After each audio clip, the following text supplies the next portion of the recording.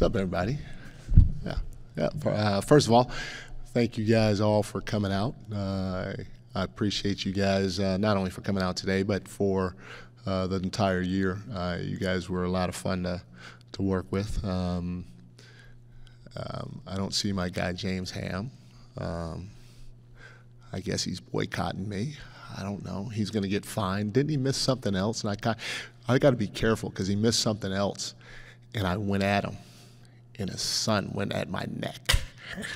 he was like, "Hey, don't mess with my dad." So, uh, so I won't say anything about James, although he should get fined. But we'll leave it at that. Um, but uh, no, you guys were great this year, so I want to thank you guys um, for the for the this year and the time that we spent together so so far. But uh, um, although uh, we're all disappointed uh, that we're not playing right now, um, you know there were some good things in terms of our growth that happened this year. Um, I'm I'm proud of our guys.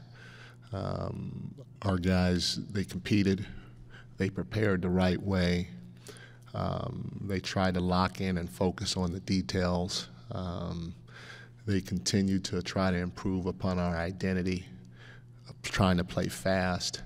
Um, obviously, trying to play physical, which really increased, and then playing for each other. Um, this group has been connected from day one, and that connectivity has gone a long way in terms of our growth.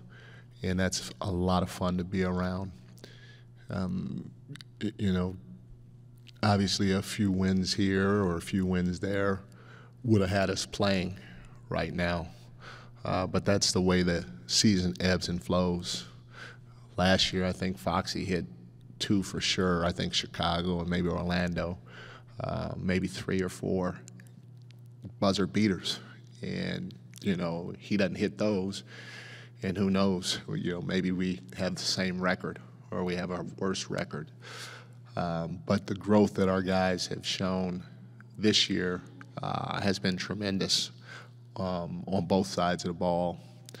Um, you know, defensively, the growth speaks for itself in a lot of areas, especially with us going from I think 23 or 25 around there to 14, 15 uh, this year.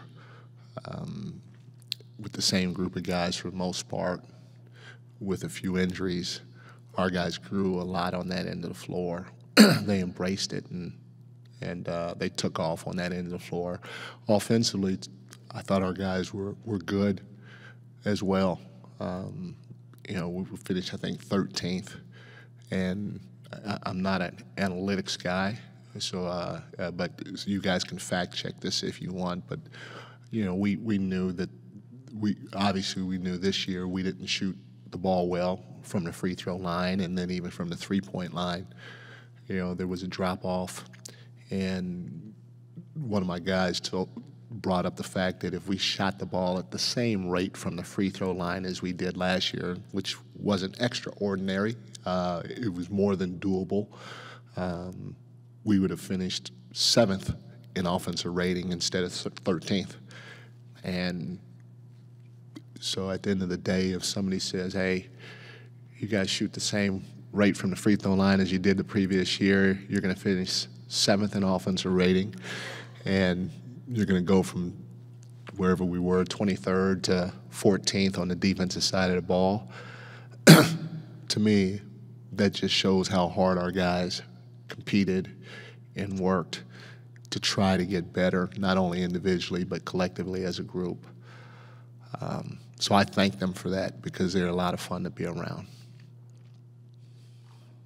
When you talk about uh, what you were haunted by last season, a Game 7 playoff loss and carrying that pain into the offseason, I'm just wondering from your standpoint, what kind of haunts you this time? Obviously, it wasn't a Game 7, you know, exit for you guys, but but what do you think back on this that you're going to carry most into the offseason? Yeah, you know, obviously – you know, your last loss is always your toughest loss, in my opinion. Um, and you know, to, to, to lose to New Orleans, um, especially when I felt we had uh, pretty good mojo going, we had a pretty good opportunity. Um, and I felt we improved in a lot of areas throughout the course of the year. Um, that that makes it that makes it tough um, to not have a chance to play in a in a seven game series.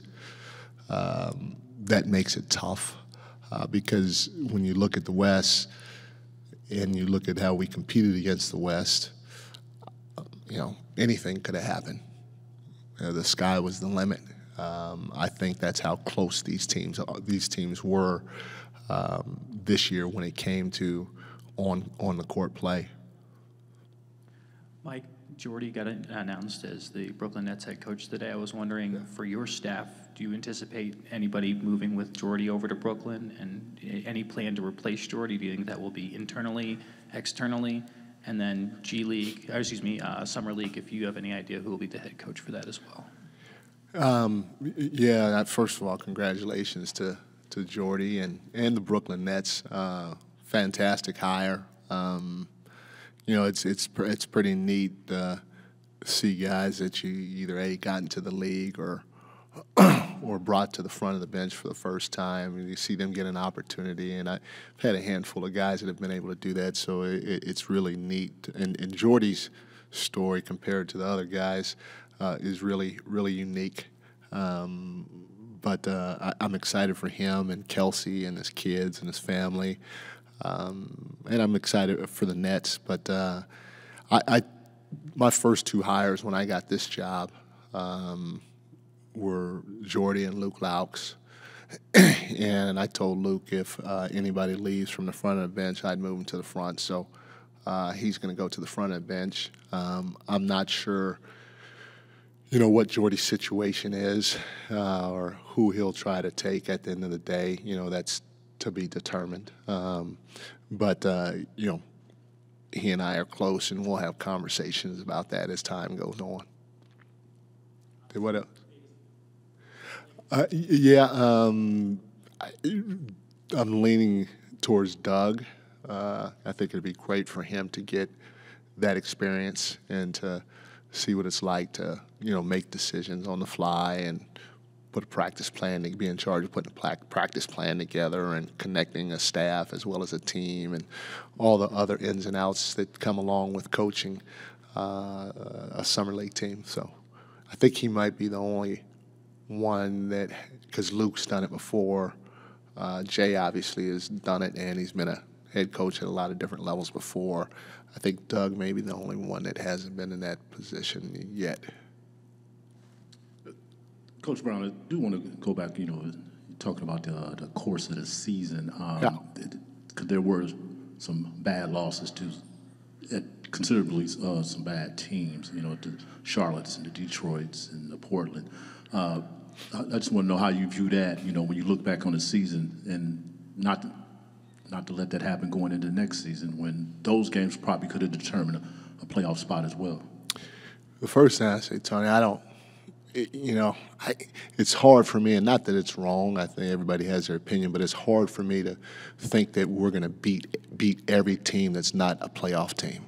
We're not going to go 16 and 0 versus Detroit, Charlotte, or you know those types of teams. Um, it's hard to do. Um, the last year that I was in Golden State, and we won a championship. Like we we had a pretty good team and Indiana came into into Golden State, and and uh, I couldn't even tell you who the guys were that were on their roster. They were missing so many guys, and they smacked us. Um, so it's going to happen. Uh, obviously, you know we don't want to lose to anybody. You hope that it doesn't happen too often. Um, just like you hope that if you're up 15 or 20, um, you don't lose games like that too often, but it, it's going to happen. You've seen it in the playoffs. We've done it to other teams.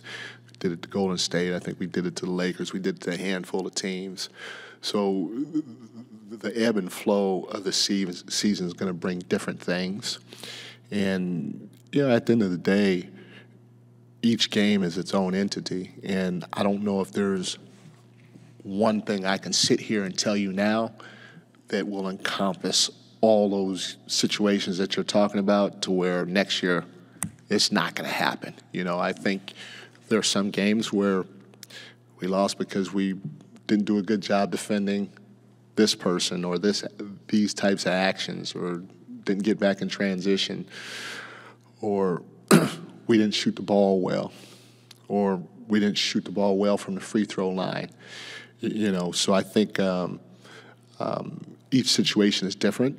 The, thing that I take away from it, and I've said this consistently, is you know, going through situations like that, uh, that's a type of adversity because you went through it.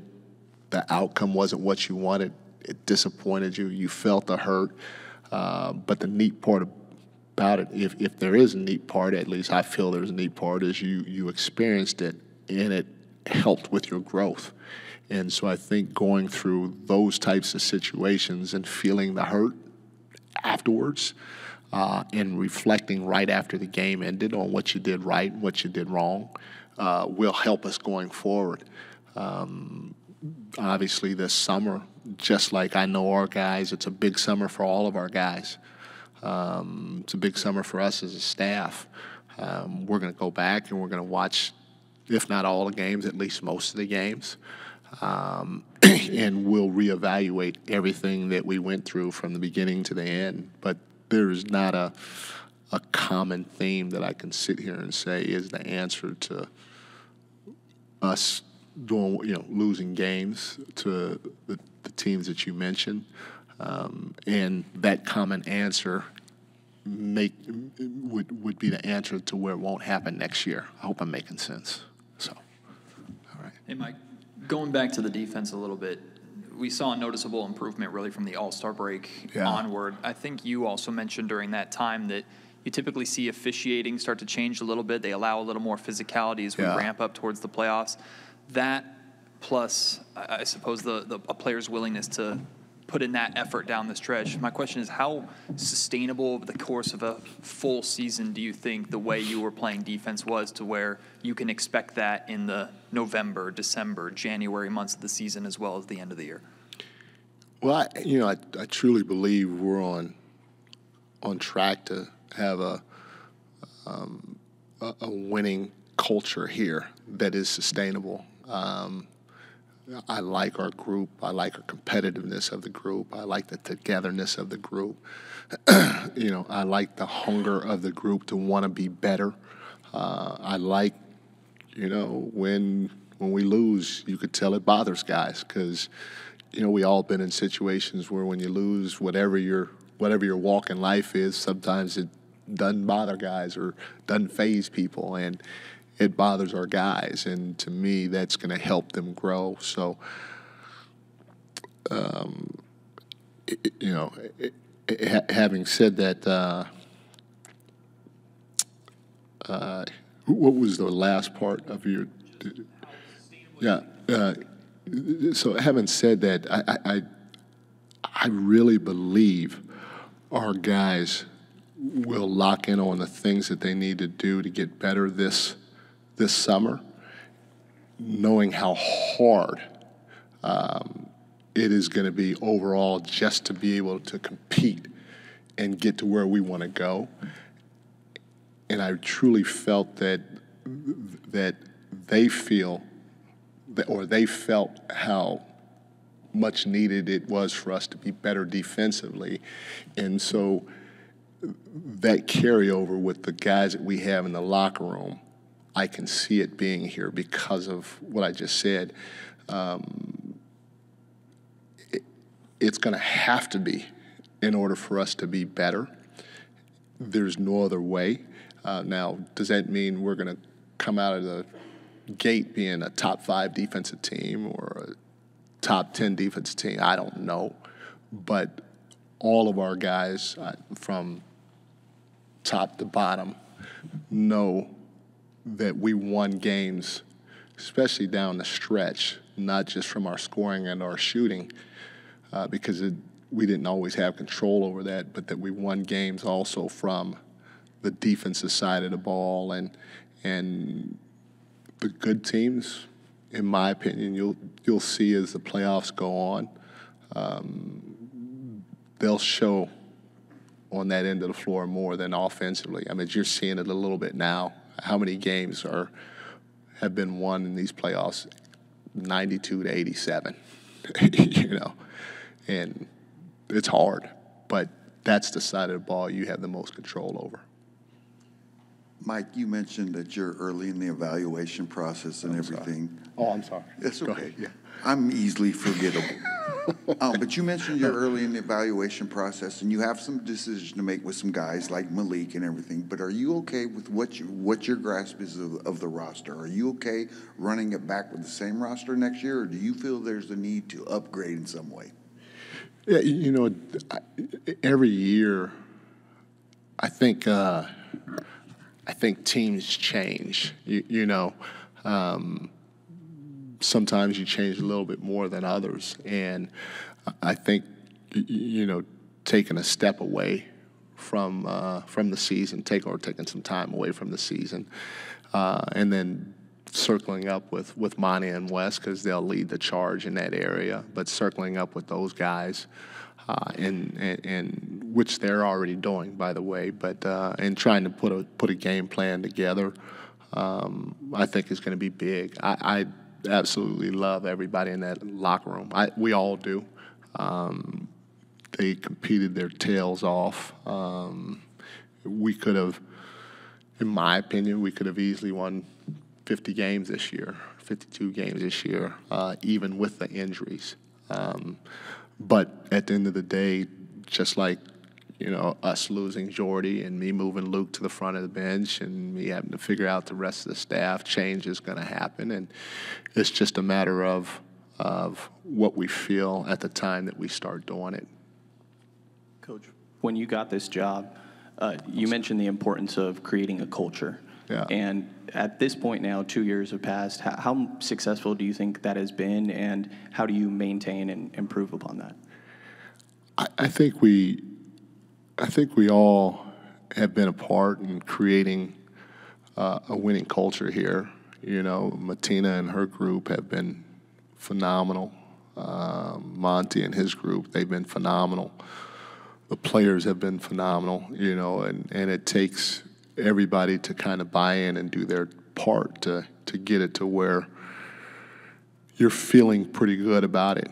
Um, I also feel that um, um, it's definitely sustainable.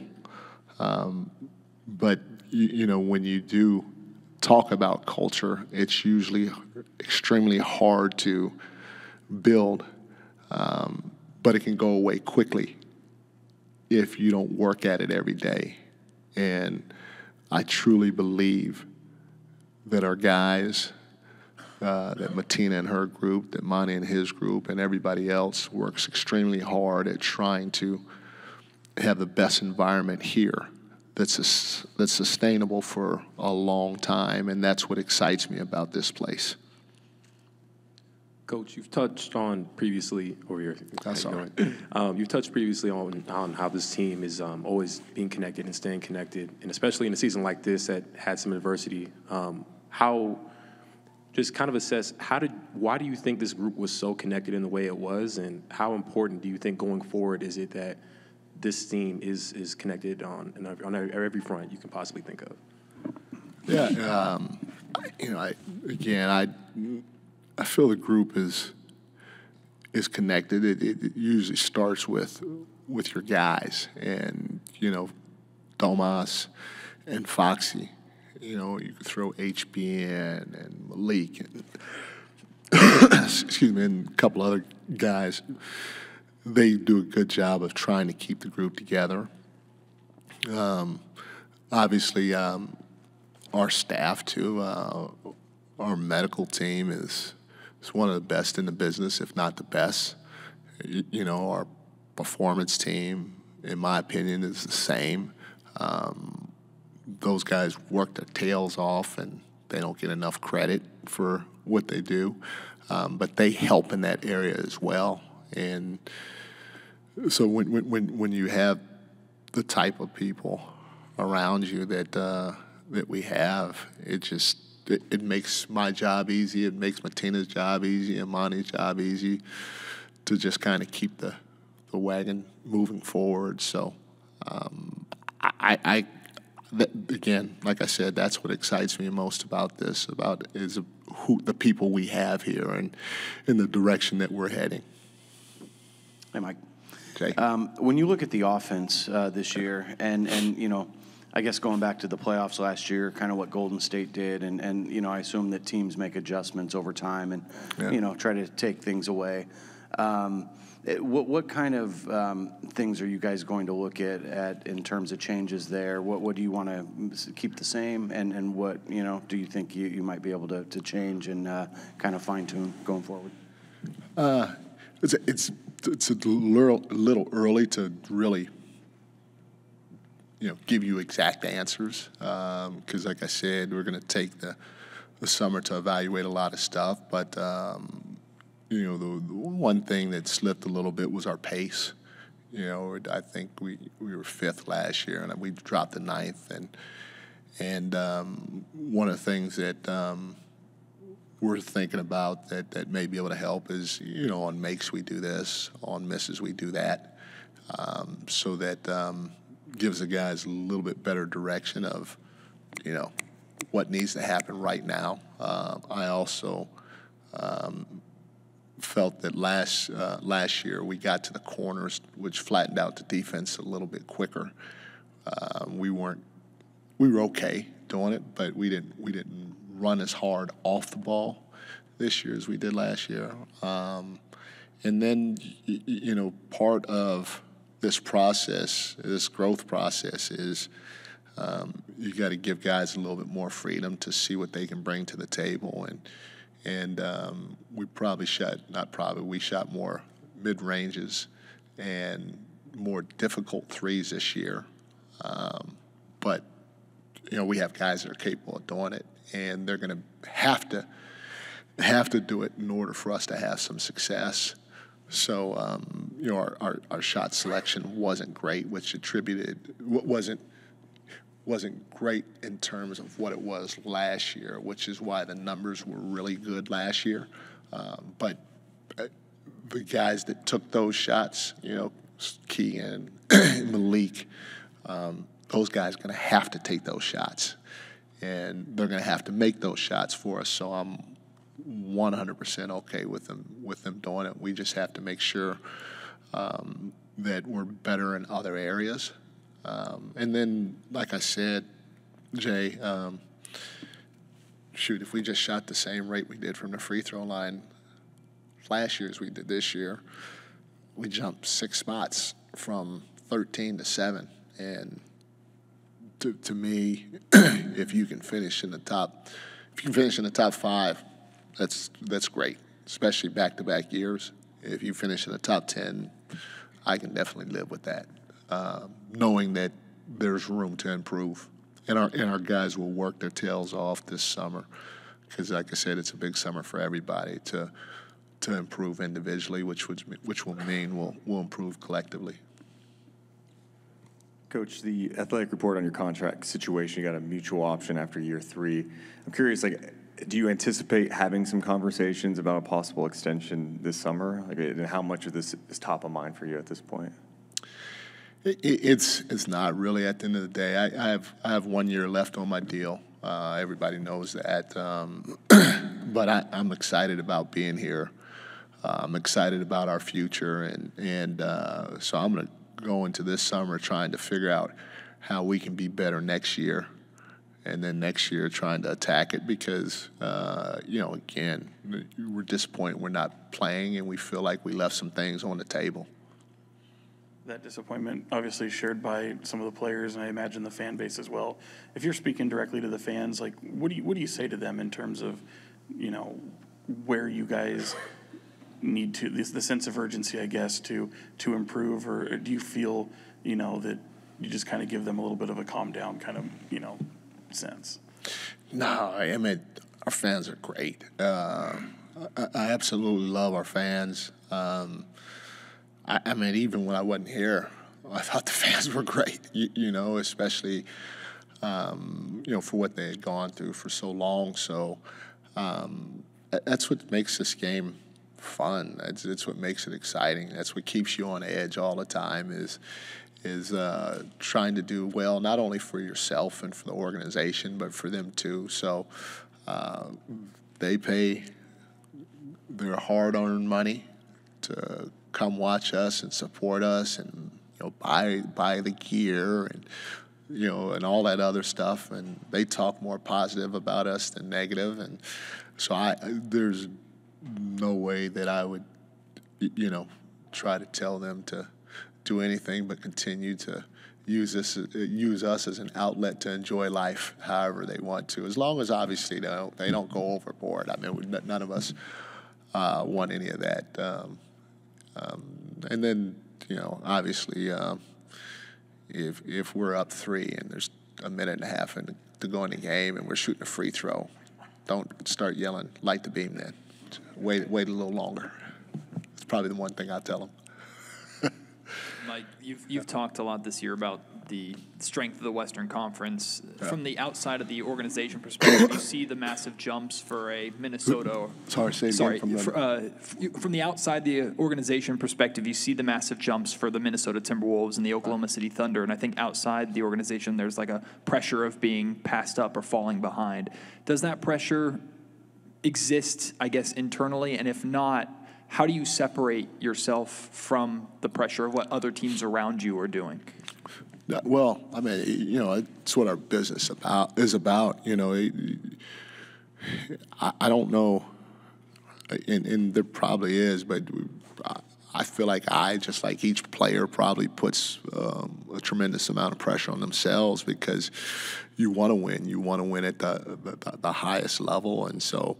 Um, so f- for me, I'm I'm okay with the pressure, expectations, because that, that comes along with, with the job, and, and you kind of welcome that because, again, I think pre- pressure is a privilege. If, if, if you don't have pressure on you, that means you're probably insignificant, you know, or, or what you're doing doesn't matter um, to you or to anybody else. And so um, I feel like I embrace it. Everybody else that is part of our organization embraces it. We want it. We want to be in that position. But the reality of it is, Maddie, that that that um, it, it doesn't. Things in life don't do this. You know. Again, I I've been not just with Golden State, even even you know San Antonio and Cleveland and you know other organizations that I've been a part of NBA Finals.